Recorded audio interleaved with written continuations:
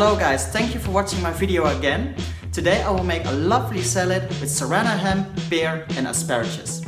Enjoy!